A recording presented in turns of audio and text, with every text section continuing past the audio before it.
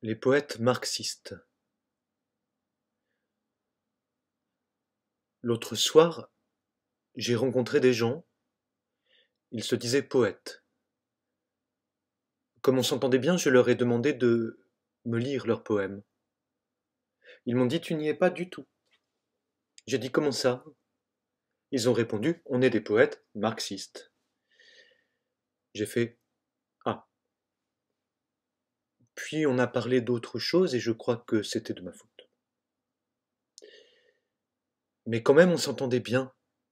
À vrai dire, j'avais envie de passer toute la nuit à discuter avec eux, alors il fallait que je les connaisse quitte à outrepasser mes inhibitions intellectuelles. Aussi leur ai-je demandé Pourquoi vous ne voulez pas me montrer vos poèmes, bande de branlots? Ils m'ont dit On n'en écrit pas. On est des poètes marxistes. J'ai fait Ah ouais Et qu'est-ce qui différencie un poète marxiste d'un marxiste tout court si vous n'écrivez pas de poèmes Ils ont répondu Un poète marxiste, en fait, c'est quelqu'un qui n'écrit pas de poèmes parce qu'il peint. J'ai dit donc un poète marxiste est un peintre. Euh,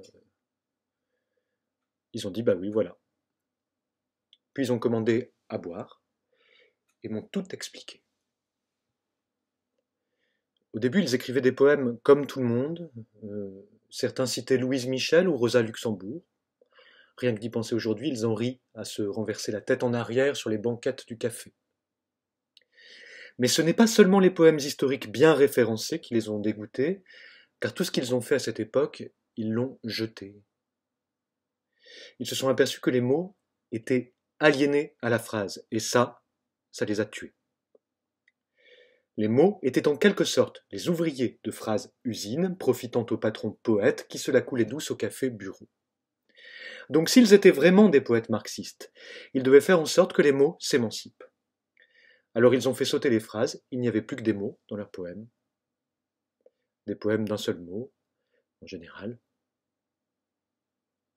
L'un d'entre eux a quitté le groupe qu'il formait parce qu'il trouvait que sous couvert de marxisme on imitait l'individualisme libéral. Il n'avait pas tort, mais ce n'était qu'une étape. Un jour, ceux qui restaient ont pris conscience de la situation des lettres. Les lettres étaient opprimées par les mots, entièrement à leur service, absolument aliénés. Alors les poètes marxistes se sont mis à abandonner les mots, à ne plus écrire que des lettres. Chacun dans son café rédigeait un alphabet, un bel alphabet libre et révolutionnaire. Ils se montraient leurs Z, ils peaufinaient leurs S. Il y avait une logique à tout cela, l'aboutissement d'une démarche, la puissance de l'engagement. Béatitude, travail acharné. Et de nouveau, le doute. En observant son cas, l'un des poètes eut une illumination à la fois poétique et marxiste. Il voyait les traits qui composaient la lettre. Pour la première fois, il les voyait vraiment. Il percevait leur souffrance d'être assujettis à la lettre. Il comprenait enfin leur aliénation. Alors il a réuni les autres poètes et tous ont dit C'est vrai. Ils ont déchiré leur alphabet. Ils en ont fait des petits morceaux de papier qu'ils ont roulés, garnis de tabac et fumés en chantant Bella. Tous sauf une, qui voulait poursuivre l'alphabet, inventer de nouvelles lettres, élargir le champ du disciple, une mystique. Ils l'ont excommunié, bien gentiment. Et ils se sont mis à dessiner des traits, des traits libres qui ne formaient pas la moindre lettre, des traits noirs, incurvés ou droits, parfois rouges aussi.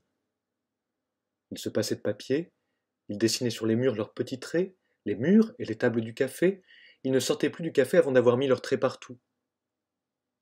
Alors l'une des poètes a dit Oui, c'est bien, mais un trait, c'est quoi? Et les autres ont dit C'est vrai, c'est quoi un trait?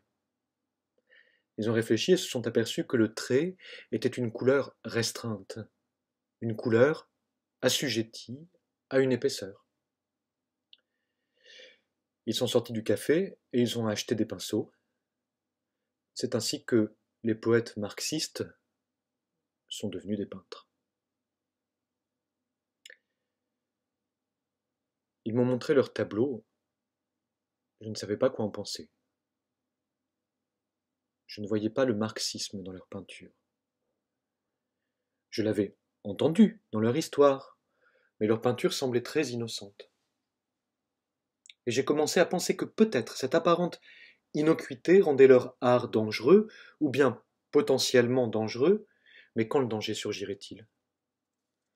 J'étais devenu impatient, j'étais devenu révolutionnaire, je désirais l'événement, et tout cela grâce à eux.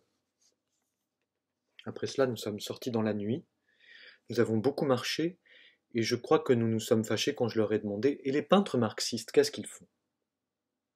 Ils m'ont dit Bah, du piano, évidemment. Ils ont refusé de m'expliquer pourquoi, et quand l'aube s'est levée, je me suis aperçu que j'étais seul dans la rue et que je titubais. Nous ne nous sommes jamais revus.